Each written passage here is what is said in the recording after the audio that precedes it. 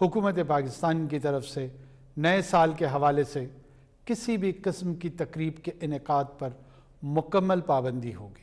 सो so, आप यूँ समझिए कि हमारी इकोनॉमिक सूरत हाल ऐसी है हमारी फाइनेंशियल नीड्स ऐसी हैं कि we are dependent on IMF we are dependent on world bank world bank के कंट्री डायरेक्टर ने पाकिस्तान के पाकिस्तान के मौशी मॉडल को नाकारा करार दे दिया। अब इस पर सदर आईसीसीआई एहसन बख्तावरी का भी बयान सामने आया है। उन्होंने कहा है कि निजकारी का अमल मजीद तेज़ किया जाए। पाकिस्तान मौशी तौर पर तबाही की तरफ़ जा रहा है।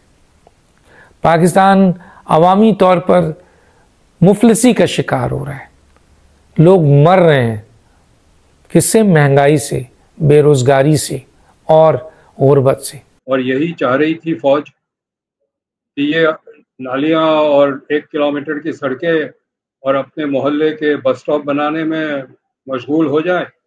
और जो बड़े मसाइल हैं वो वो उस पर तोज्जो ना दे वो फिर जो फौजी क़्यादत है वो उसको चलाते रहे। हेलो दोस्तों नमस्कार मैं हूँ सौरभ एक और नए वीडियो के साथ। दोस्तों एक तरफ़ तो भाई पाकिस्तान के केयर टेकर प्राइम मिनिस्टर है वो न्यू ईयर पे रोक लगा दिए।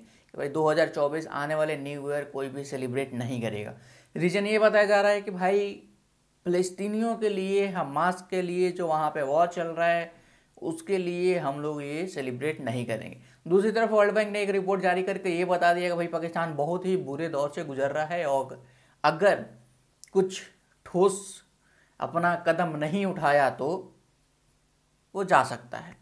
अब इस दोनों में कितना सच्चाई है, किस लिए ये सेलिब्रेशन रोका गया है, वो तो आपको वीडियो देख के पता चलेगा। तो चलिए देर नगर तो प्लीज़ वीडियो को स्टार्ट करते हैं। और अगर आप चैनल पर नए हैं तो चैनल को सब्सक्राइब कर लीजिएगा। वीडियो अच्छा लगे तो वीडियो को लाइक कर दीजिएगा। अपना राय कमेंट बॉक्स में ज़रूर दें। और बेल आइकन प्रेस करना भी ना भूलें, ताकि हर आने वाले लेटेस्ट वीडियो का नोटिफिकेशन मिल सके। तो चलिए देर नगर सबसे पहले इस वीडियो को स्टार्ट करते हैं, फिर मिलते हैं वीडियो का में। जब आपको वो इदारे जो आपको कर्ज दे दे के शायद थक गए हैं, वो भी समझ गए हैं कि आप कर्ज लेके बोरोइंग करके पैसे कहाँ लगाते हैं, किस किस तरह की करप्शन होती है यहाँ पे। सिर्फ़ आम आदमी से टैक्स लिया जाता है रियल इस्टेट एग्रीकल्चर जिसमें बड़े लोगों के स्टेक्स हैं, अशराफिया के स्टेक्स हैं, उनको तो आप हाथ भी नहीं लगाने देते। वो क्या सोच रहे हैं हमारे बारे में? ये वर्ल्ड बैंक के, पाकिस्तान के कंट्री डायरेक्टर के कमेंट्स हैं जो मैं आपके सामने पढ़ देती हूँ उर्दू में। उन्होंने कहा कि पाकिस्तान का जो इकोनॉमिक मॉडल है बेसिकली वो फेल हो चुका है। ना जस्ट इमेजिन कि वो इकोनॉमिक मॉडल की बात कर रहे हैं, वो कोई एक हमारे पास पाकिस्तान के वजूद के साथ नहीं आया था। वो हर पाँच साल की गवर्नमेंट ने या चार साल की गवर्नमेंट ने खुद मॉडल बनाना था। तो अब तक फोर्टी ईयर्स तो आप क्लियरली दे दें नून लीग को, क्योंकि उन्हीं की हुकूमत रही है and Dar is a brand now for Noon league जिनके बारे में उनके अपने वज़ीर मोहम्मद ज़ुबैर ने परसों एक इंटरव्यू में कहा कि अगर प्राइवेटाइजेशन हल है पाकिस्तान के मसाइल का तो हम 2013 में दो साल की मेहनत करके, पूरी दुनिया में रोड शोज़ करके ड्यू डिलीजेंस करके हम बिल्कुल रेडी थे to privatise P I A Pakistan steel mills and FESCO अगर ये हमारा इज्तमाही कदरे, कदरों का हिस्सा है तो फिर तो ठीक है। अब हर चीज़ हर चीज़ बेचते और बेचने लगे हैं एयरपोर्ट भी बेचने लगे हैं पोर्ट भी बेचने लगे हैं। कायद अजम के मज़ार की भी काफ़ी ज़मीन है, वो भी बेच दे, वहाँ कुछ प्लॉटिंग करके घर तो बना ही लेंगे। तो हमारे माफिया जो है इस्लामाबाद में जो फैसल मस्जिद है, वो भी बेच दे। वहाँ भी बहुत ज़मीन है, वहाँ भी प्लॉटिंग करके कुछ घर बन जाएँगे, बड़े इलीट घर बनेंगे गैर मुल्कियाँ भी, पाकिस्तानी भी आके ख़रीदेंगे, वहाँ पर महल नुमा घर बनाएँगे। तो ये कर लें। लेकिन अगर रियासत का मकसद ये है कि आवाम को खदमत देना है तो फिर आपको पूरा एक मॉडल डिफरेंट चलाना पड़ेगा और ये मुनाफे का जो मंत्रा है, इसको आपको एक तरफ़ करना पड़ेगा। स्टील मिल अभी भी बहाल हो सकता है। स्टील मिल के पास काफ़ी ज़मीन है। 1990s में नवाज़ शरीफ की हुकूमत ने तकरीबन 100 के करीब इंडस्ट्रीज़ प्राइवेटाइज की एक साल में 92-93 में। उसमें से दो या तीन के अलावा सारी इंडस्ट्री छः महीने में बंद हो गई और वहाँ हाउसिंग कॉलोनी बन गई। जितना भी अरसा ये केयर टेकर गवर्नमेंट रहेगी केयर टेकर गवर्नमेंट से वो असरात नहीं आ सकते जो एक इलेक्टेड गवर्नमेंट से आते हैं। तो इलेक्शंस की तो ज़रूरत है, लेकिन उस इलेक्शंस की ज़रूरत के साथ साथ ज़रूरी ये भी है कि हर पार्टी हर सियासी पार्टी अपने मंशूर को अमल में लाए और उसमें मेक श्योर करे कि इंडस्ट्रियलाइजेशन की तरफ़ भी ज़ोर दिया जाए। जहाँ हमारे खसारे अपनी जगह मौजूद हैं जहाँ हमारा एफ़ बी आर का एक हमारा रिसेंटली जो हदफ था वो उन्होंने बेहतर परफॉर्म किया और जो पिछली वर्ल्ड बैंक की रिपोर्ट थी उसके अंदर वाज ज़िक्र था कि पाकिस्तान बेहतरी की तरफ़ जा रहा है।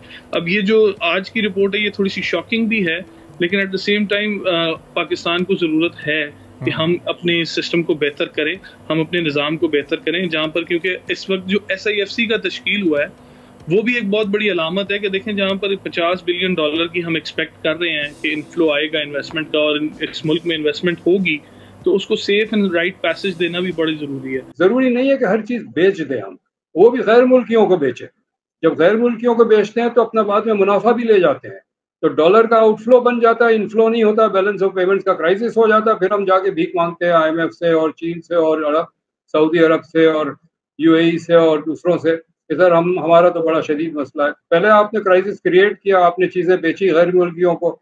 अब वो अपना मुनाफा बाहर ले जाते हैं तो आपके पास डॉलर नहीं है उनको देने के लिए, चूँकि इनफ्लो तो है नहीं डॉलर का। तो ये पूरा जो मॉडल हमने बनाया हुआ है, पिछले 40 साल में, खास तौर पे पिछले 20 साल में, वो तबाही का मॉडल है। परसों की जो वर्ल्ड बैंक की रिपोर्ट थी, उसमें तो ये लिखा हुआ है कि एक मुफाद परस्त तबका है जो पाकिस्तान की इकोनॉमी को स्टेयर नहीं करने देता। मज़ीद वो लिखते हैं कि माजी में गुरबत में खातिर खा कमी हुई।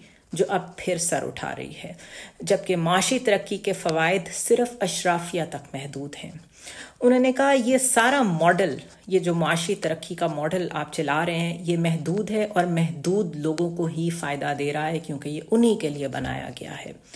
पॉलिसीज़ बदलना ज़रूरी है, उसके बगैर गुजारा नहीं है। उन्होंने मज़ीद ये कहा कि क्लाइमेट चेंजेस और उससे रिलेटेड चैलेंजेस अगर इनकॉर्पोरेट नहीं करेंगे अपने पॉलिसीज़ में तो आप जो मर्ज़ी इंफ्रास्ट्रक्चर बना लें, वो क्लाइमेट चेंज की नज़र होता रहेगा। इसी तरह उन्होंने कहा कि एग्रीकल्चर में एनर्जी सेक्टर में और जो एनर्जी रिफॉर्म्स हैं, इन सबको सबसे पहले प्रायोरिटी पे ला के एक्टिवेट करना पड़ेगा। लेकिन तजर्बा बताता है कि रिफॉर्म्स का रास्ता रोक दिया जाता है। तो हमारा पूरा जो इकोनॉमिक गवर्नेंस का मॉडल है, वो डिजेनरेट हो चुका है। तो ये जो आज बहरान हम देख रहे हैं, ये आज नहीं हुआ है, पिछली हुकूमत में भी नहीं हुआ है, उससे पिछली हुकूमत में भी नहीं हुआ है। ये चालीस साल का नतीजा है और ख़ास तौर पर पिछले बीस साल का नतीजा है, जिसके हम कीमत अदा कर रहे हैं। भाई, पैसा ना होने के कारण भी सेलिब्रेशन रोका जा सकता है। अब किस रीजन से रोका गया है? क्लियर भाई, किसके दिमाग में क्या चल रहा है वो तो नहीं पता। लेकिन एक दिखाने के लिए जो होता है ना कि भाई इलेक्शन भी आ रहा है, इलेक्शन में भी पैसे खर्चे करने हैं और आईएमएफ से पैसे मिले नहीं है अभी तक। दूसरे ये लोग जो लेने के फिराक में थे, वो अभी तक रोक दिया है कि भाई पहले इलेक्शन कराओ, उसके बाद पैसे मिलेंगे। अब ये लोग कैसे कैसे करके क्या क्या करवाएँगे, वो तो पता नहीं, आने वाले टाइम में पता चल जाएगा आपको। तो आई होप आपको वीडियो अच्छा लगा होगा। वीडियो अच्छा लगा तो वीडियो को लाइक ज़रूर से कर दीजिएगा। चैनल पर नहीं तो चैनल को सब्सक्राइब कर लीजिएगा। बेल आइकन प्रेस करना ना भूले ताकि हर आने वाली लेटेस्ट वीडियो का नोटिफिकेशन आपको मिल सके। मिलते हैं किसी अगले नेक्स्ट और मज़ेदार टॉपिक पे तब तक ले जाए हिंद।